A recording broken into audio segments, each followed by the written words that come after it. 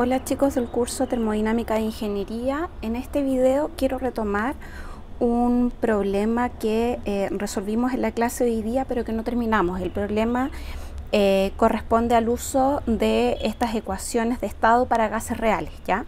O para gases que tienen un comportamiento comillas real. Eh, el problema es, tenemos gas metano que sale de un compresor a 50 atmósferas y 200 grados Celsius y eh, la parte que quedó pendiente es esta. Calcule con la ecuación RKS, que es la de Redlich-Kwong-Swab, em, cuál es la temperatura necesaria de almacenamiento para reducir el volumen del contenedor a la mitad. Eh, vamos a retomar esta, que es la ecuación de Redlich-Kwong-Swab, em, donde ustedes pueden observar que hay algunos datos que son Em, determinados para un determinado eh, gas, para, eh, pues se calculan con datos de ese gas que son propios de ese gas, como la temperatura crítica, que está acá, la presión crítica, y este omega que es un factor de, de no esfericidad, ¿cierto? Em, además, ocupamos la constante de los gases ideales y con esto las, la información que está en esta ecuación de estado, la presión está en atmósferas, eh, el volumen específico está en litros partido en mol y la temperatura está en Kelvin. ¿ya? Em, en la segunda parte del problema, si ustedes se fijan, en la primera parte del problema calculamos un volumen, ¿cierto? Y ahora queremos que ese volumen sea la mitad del volumen inicial. Eh, entonces, eh, tenemos que, eh, nos quedan, entre comillas, dos incógnitas. Nos queda la presión y la temperatura. Para nosotros poder calcular la temperatura, entonces tenemos que fijar la presión. Por lo tanto, fijando el volumen y la presión, vamos a poder despejar de esta ecuación este factor T. ¿Cómo lo vamos a hacer? Eh, vamos a escribir nuevamente esta ecuación de Redlich-Kwong, ¿ya? Pero vamos a reemplazar ese alfa por este valor que está acá. Entonces, esta ecuación nos va a quedar de la siguiente forma. Nos va a quedar de la siguiente forma.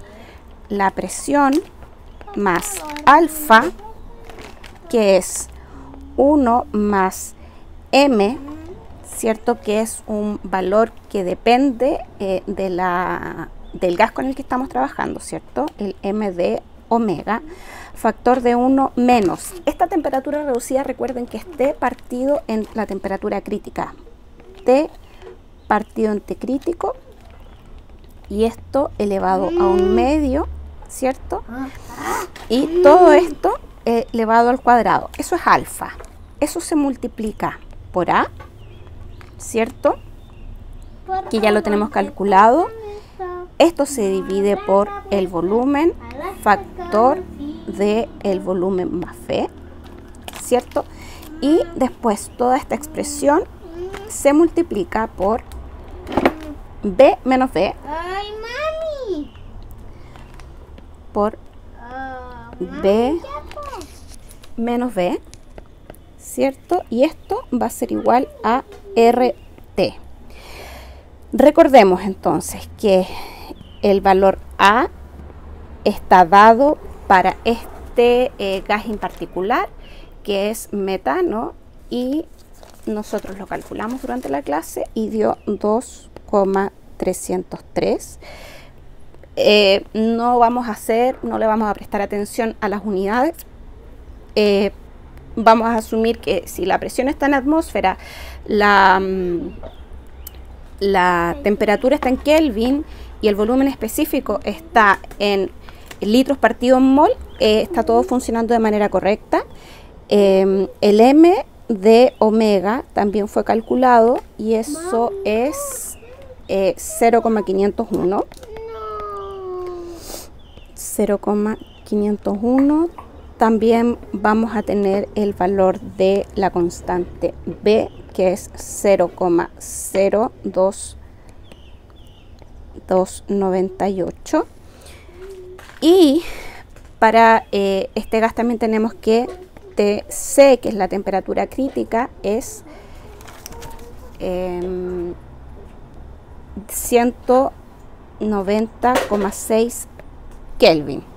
Y entonces lo que nosotros vamos a fijar, además de estos datos en esta ecuación, va a ser el valor de B, que queremos que sea la mitad del valor que calculamos en la parte A, es decir, queremos que B sea igual a 0,3893 eh, litros partido en mol, ¿cierto? Porque es un volumen específico.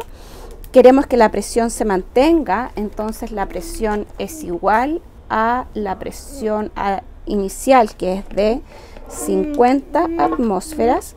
Y si se fijan ustedes, vamos a tener la incógnita T a ambos lados de la ecuación y aquí está dentro de una función de potencia. Entonces lo que ustedes van a hacer es incluir esta información en Wolfram,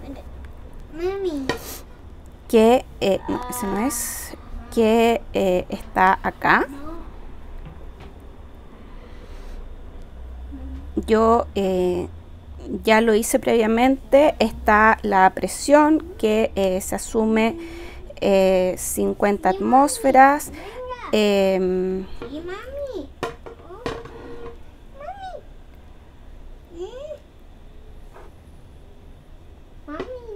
la temperatura, nosotros, ah, este era el caso donde yo quería calcular el volumen. Pero ahora voy a considerar que lo que desconozco es la temperatura y voy a incluir el valor de el volumen específico que es B igual a el valor que les había dicho que era 0.3893 y si hacemos este cómputo ah, aquí falta algo que el alfa no es constante cierto no estaba la ecuación como yo esperaba y aquí en vez de alfa vamos a escribir la ecuación para alfa.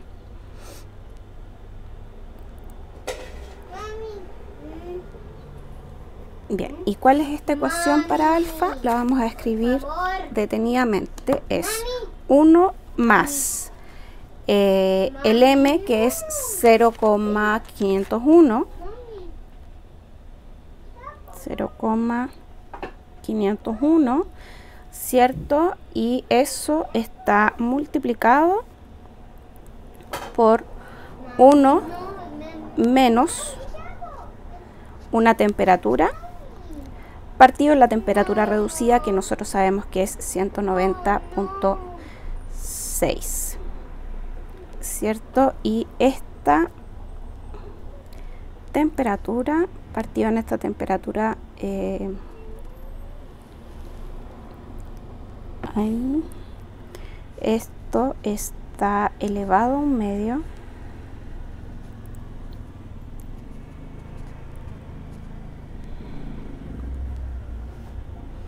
esto está elevado a un medio y además tenemos que el alfa cierto que el 1 más eso está al cuadrado. Y eso es alfa por A. Vamos a escribir acá por A y eso debiera ser el... Eh, ahí tenemos las dos temperaturas que son... Eh, o sea, el T que está en ambos lados de la ecuación, el B que es eh, dato del enunciado ¿cierto? Tenemos el valor de A, de B, de R, de P y del volumen y ahí obtenemos que la temperatura es 269,7 Kelvin. ¿Sí? Si es que la expresión fue bien escrita, la temperatura es 269,7 Kelvin.